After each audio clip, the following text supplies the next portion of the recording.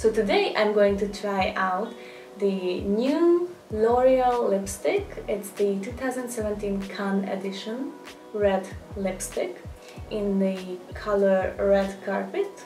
Number is 357 and this is a limited edition lipstick so you might better check it out and get it.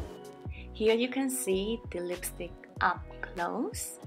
So as you can see it's a red and gold combo it's a ruby red color and you can see the 20th anniversary engraving and also the palm leaves on the lipstick itself and it says L'Oreal Paris and you can see the gold colored palm leaf on the bottom of the tube which is the iconic symbol of the Cannes Film Festival's top prize.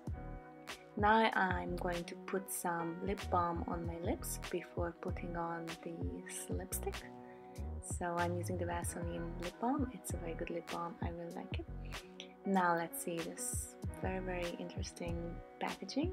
Uh, I like the fact that the red is a sort of a little fluffy uh, thing. it feels very interesting, but the color is absolutely amazing you can see here lipstick up close again. Now I'm going to put the lipstick on my lips. I'm using my little mirror to make sure that I use it correctly. The lipstick goes on nicely and smoothly. It doesn't smudge it doesn't feel dry it feels very hydrating and according to the description on the website of uh, L'Oreal, they say that it's an up to 8 hour moisturizing lip balm effect basically. So I'm going to try it out.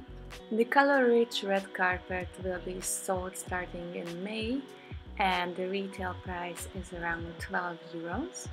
The Cannes Film Festival this year is scheduled to be held from the 17th of May until the 28th of May in Cannes, France.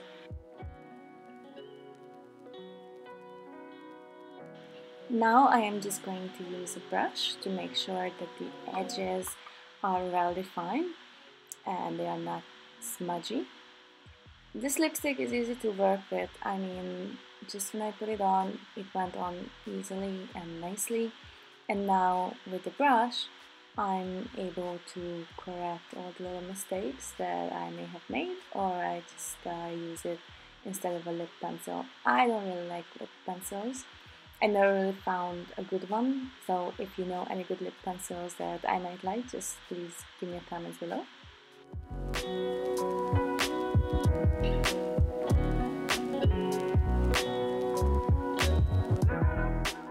So this is the finished look. I really like how this lipstick feels on me and I really like the color. I think most people would like to wear this type of red. I think it would look good on everybody.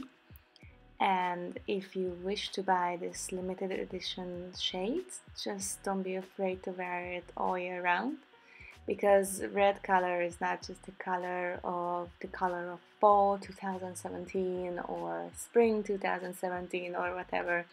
A red lipstick is always in. It never goes out of style